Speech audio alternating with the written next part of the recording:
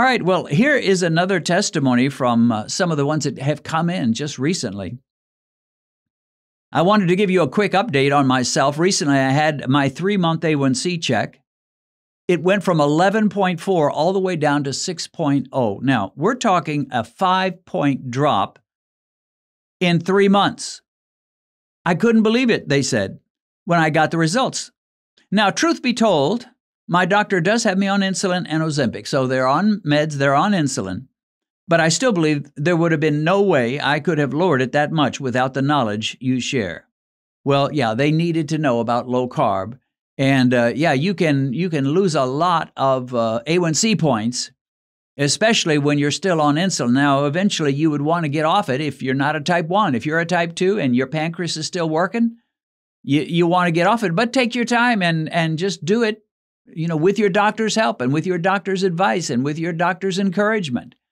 But there, there. Uh, he, this person says, You're changing people's lives. I appreciate you so much. My doctor said at this rate, I would not be on insulin for long at all. Repeat, my doctor said at this rate, I'm not going to be on insulin very much longer. Well, isn't that a wonderful thing to hear from your doctor? The way you're going, you won't be on insulin much longer. Again, thank you for everything. And uh, I like what they said, uh, or how they said it when they told how their A1C went from 11.4 to 6.0. They said that, and then they put three exclamation points. In other words, I'm excited about it. I like this. Well, I do too, and it is exciting. It's, it's amazing. When we were young, we didn't know anything about A1Cs, and we never even thought about these things. No one ever talked to us about low carb or keto or anything like that. We just blissfully went on our way eating junk and poison. But now that we've gotten older and we've faced blood sugar struggles, we have found some secrets and we begin to understand the importance of, a, of an A1C that's been lowered and ultimately lowered to the point where we can get off the meds, if at all possible, if our pancreas is still working. And uh, we love it. And to us, it's, it's a win. It's big. It's really big. Here's another testimony. I've been doing all these things for six months. Speaking of the, the guidelines to the challenges that I promote, which would be two meals a day, and you eat a carnivore meal on Monday, or car- have a carnivore day of Monday, and you have bulletproof coffee or no breakfast at all, and then you have two meals. So I've been doing all these things for six months. I lowered my A1C from 13 to 5.7, another ridiculous, amazing drop of an A1C. Six months, 13, which is terrible, which is horrible, which is dangerous. That's the kind of A1C you have when you start losing toes when you start feeling all kinds of neuropathy pains, when your vision starts to get blurry, when your kidneys start to fail. That's the kind of A1C that does those things. Now, it can happen at a much lower level than that. But when you've got 13, almost surely that's beginning to happen if it hasn't happened in a big way. 13, terrible, to a 5.7, which is quite nice, especially for someone that's crossed the line of diabetes. 13 to 5.7. I mean, we're talking uh, about seven points plus in six months' time. I lost 35 pounds and I feel great. Wow, don't you just love it? And the thing I try to point out so often is if these can people can do it, why couldn't you? Are these people so strange? Do they have some weird DNA or some kind of a weird gene that makes it easy for them, but you don't have that gene, so it's not easy for you? Again, if you're type 1 and your pancreas has totally failed, then of course you'll need to take insulin. But even then, you can still do low carb and not take too much insulin. But if you've got a pancreas that's working at all, and there's a lot of evidence these days that many pancreases that barely work will start to work much better as you lose your liver fat and your pancreas fat, and as you start reversing your insulin resistance.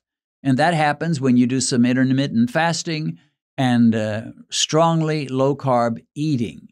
What an amazing thing that would be to have a pancreas that barely works. And now it's working quite well. Or even if it never gets to full efficiency and, and uh, full normal pancreas production, if it can just improve significantly to where you can get through life by eating low carb. And uh, so what if you don't eat potatoes? So what if you don't eat rice anymore? There's a lot bigger things in this world and in your life than whether or not you have the freedom to eat potatoes and rice. And certainly nobody ought to eat, be eating candy bars. So he says, I've lost 35 pounds. I feel great. 13 to 5.7. And you know, when I read these testimonies, and they're just coming in all the time, any of these testimonies would amaze most doctors, most health professionals. You see a patient at, at one point, he's got a 13. You, you try with everything you've got to tell him how dangerous he is. And your hope is that he can maybe bring it down a couple of points. If he works real hard, maybe he can bring it down from a 13 to 11. And then you see him again in six months. You take out the chart to, to refresh your memory on exactly what his situation. He says uh, an A1C of 13. You think, well, I wonder if he's been able to at least bring it down to 11 or maybe 12. Hopefully he's improved. And then he's got a 5.7. 5.7 from 13 in six months' time.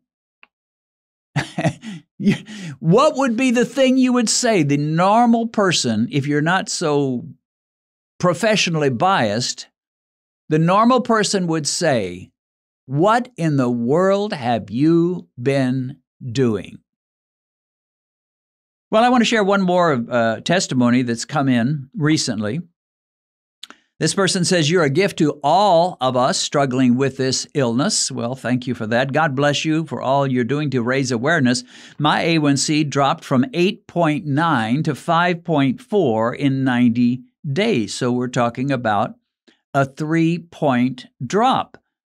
And he said, I retested at 60 days, it was 5.5. My doctor, now this is the thing that amazes me. He says, My doctor was not surprised when I told him what I was doing. In other words, hey, I've been doing a keto diet and uh, low carb eating and probably some intermittent fasting. He says, My doctor wasn't surprised. Now, that's unusual. Usually they are surprised. Usually they're shocked. This one says, uh, this guy says, My doctor wasn't surprised. Funny thing is, he never mentioned keto as a possible solution. Instead, he put me on metformin, which didn't work. My blood work has all come back vastly improved, as well as lowering my blood pressure, all in normal ranges, and no more metformin. Yay. so this guy is excited. But the thing out of all that, I it doesn't surprise me anymore when I hear these testimonies. I hear them so much, so often, daily, weekly, just constantly, that I, I, am not going to tell you I'm shocked, but I'm very pleased and gratified. But the thing that's kind of uh, amazing and surprising to me is the doctor wasn't surprised when he told him what he was doing. He's like, I'm doing keto. Oh, okay, well, now I understand. But he says wisely, this man says, uh, but my doctor never mentioned that. So, if you've got a doctor who's not surprised when you achieve amazing results with a keto diet, and the doctor's not surprised, in other words, he knew all along that that could do it, but he never mentioned it to you, that seems to be rather problematic, wouldn't you say? Wouldn't you think it's strange if you had a remedy that could bring you down from like 9 or 10 or 11 A1C into the fives and you don't say a word about it? And then when they come back and they've seen amazing victory, and the doctor says, Well, what happened? And you say, Well, I went on a keto diet. And the doctor goes, Okay, well, now I understand.